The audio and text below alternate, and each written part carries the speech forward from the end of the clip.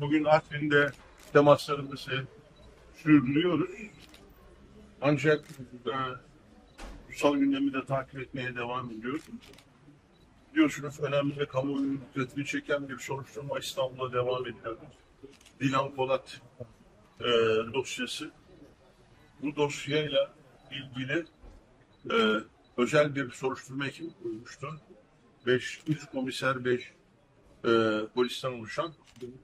Biraz önce aldığım habere göre bu ekip e, hadisenin e, diğer unsurlarında ve bu sürecin içerisinde olan diğer 40 kişiyi de gözaltına alma aşamasındayken aralarında çok meşhur bazı isimlerin olduğu e, ani bir kararla görevden el çektirilmiş ve değişik karakollara bu ekip sürülmüş.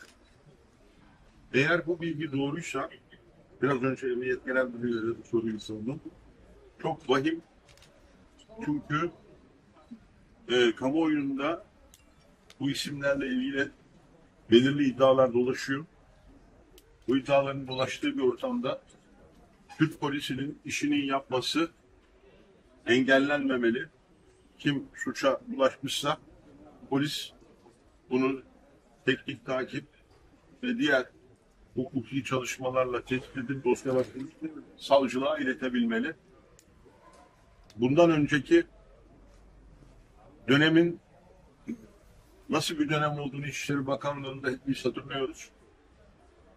Ben İçişleri Bakanlığı önüne gittiğim zaman dönemin İçişleri Bakanı Süleyman Soylu ile ilgili görüşlerimi bütün dünyayla ve kamuoyuyla paylaşmıştım.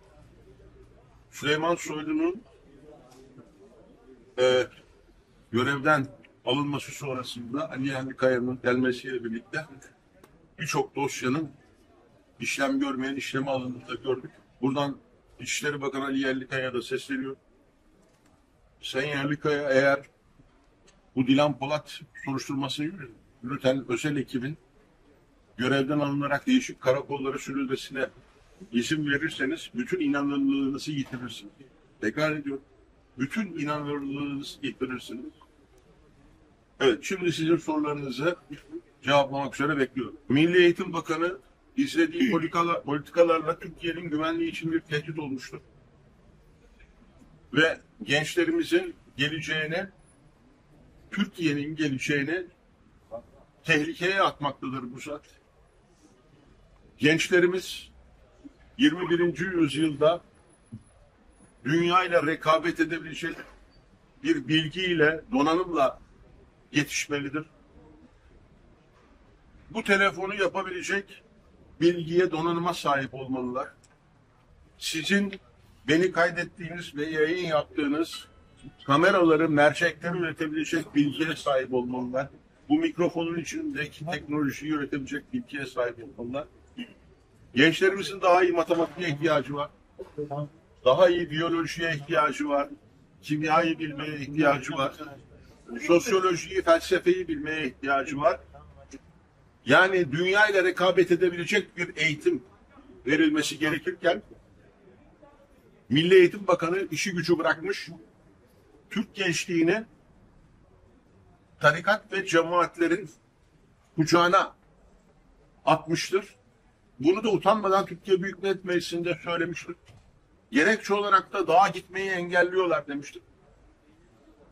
Tarikat ve cemaatlerin işi gençlerin dağa gitmesini engellemek değildir. Bu bir.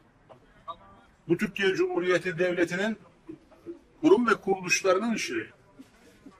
İki, anlı secdeye değiyor dediğiniz FETÖ 15 Temmuz gecesi bu ülkeyi iç savaşa sürükleyecek bir darbe yaptı. Parlamentoyu bombaladı. Daha çıkmışlar mıydı? Hala mı akıllanmadınız? Ama biz Zafer Partisi olarak diğer partiler gibi bu Milli Eğitim Bakanlığı'nda gerçekleşen rezaleti durarak seyretmeyeceğiz. Her fırsatta siyasi ve hukuki her türlü mücadeleyi vereceğiz. Bu yapılan suçtur. Bu yapılan Cumhuriyet'in kuruluş felsefesine aykırıdır. Ve bu Milli Eğitim Bakanı günü geldiğinde bu yaptığının hesabını yasalar önünde verecektir muhakkak. ve Artvin ilçelerinde kendi adaylarımızla seçimlere gireceğiz. Sadece Kars ve Iğdır'da şehir merkezinde aday çıkartmıyoruz. İlçelerde orada da çıkartacağız. Orada vatansever bir adayı hangi partinin adayı olur artık bilmiyoruz ama ya kazanmaya yakın ya HDP'nin bu şehirlerde kazanmasını engelleyecek adayı olanca gücümüzle destekleyeceğiz. Ve bunun dışında her yerde ama her yerde Zafer Partisi'nin adaylarını göreceksiniz. Sizlerden de Artvin'de oylarınızdan en az bir tanesini Zafer Partisi'ne bekliyoruz. Eğer sığınmacı, 13 milyon sığınmacı ve kaçak vatanlarına dönsün diyorsanız, bunu istiyoruz diyorsanız, nereden belli olacak gerçekten istediğiniz? Zafer Partisi'ne oy vermediğiniz takdirde kim bilecek sizin sığınmacı ve kaçakların geri dönmesini istediğinizi? Hiç kimse. O zaman samimiyseniz bu görüşünüzde, bu ızdırabı çekiyorsanız, ülkemizin örtülü bir istila altına girmesine tepki duyuyorsanız, yılda 11 milyar dolar harcanmasından rahatsızsanız, oyunuzu Zafer Partisi'ne vererek bu rahatsızlığınızı gösterin. Çocuklarınıza babalarınızdan ve dedelerinizden devraldığınız Mustafa Kemal'in size bıraktığı Cumhuriyeti sizler de devredin. Unamadan yine Artvin'in çok güzel ve kestane balıyla meşhur Borçka ilçesine uğradık. Orada da kahvehanelerde emekli kardeşlerimizle konuştuk. Ben de bir emekliyim. Ee, ama e, emeklilerin 7500 lira maaş al, alıyor. 5 milyon. Bu insanlık onuruna hakarettir. Bu insanlar hayatları boyunca Türkiye için çalışmışlar. Türkiye için askere gitmişler. Türk milleti için ter dökmüşler. Ve çalıştıkları dönemde kendilerinden önce çalışan ve emekli olmuş insanların onurlu bir şekilde yaşaması için paylarında bulunmuşlar. Ve kendilerinden küçüklerine yetişmesine katkıda bulunmuş insanlar. Şimdi onlara 7500 lira maaş verip saraylarda itibar arayanlar bilmelilerdir ki emekliler saray rejimlerine haklarını helal etmiyorlar. Diğer taraftan diyorsunuz ki asgari ücret yani yaşamak için sahip olman gereken en az ücret sonra da onun yarısını emekliye veriyorsun. Bu ne demek? Bu sen yaşama demek. Sen öl demek. Sen aç kal demek. Sen insan değilsin demek. Senin bütün bu çalışmalarına saygı duymuyorum demek. Dünyanın değişik ülkelerine resmi rakamlar övünerek yılda 7 milyar dolar yardım yapıyoruz diyorlar. 7 milyar dolar. Milyon değil, milyar dolar. Ve dünyada Amerika Birleşik Devletleri'nden sonra en fazla insani yardım yapan ülkeyiz.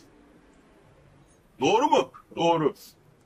Gayri safi milli hasılasına göre ise dünyada en fazla yardım yapan ülke. Peki bu ülkenin insanları, bu ülkenin emeklileri bu 7 milyar dolar yardım yapılırken kendi ülkelerinde kira ödeyemeyip sokağa atlıyorlar mı? Atlıyorlar. Ben Recep Tayyip Erdoğan'a Türkiye'de emeklilerin de insan olduğunu ve esas insani yardımın onlara yapılması gerektiğini hatırlatmak istiyorum. Bu tür haberler için lütfen Hep Laf kanalına abone olmanızı ve bu video hakkında yorum yazmanızı istiyoruz. Sizin desteğinize ihtiyacımız var.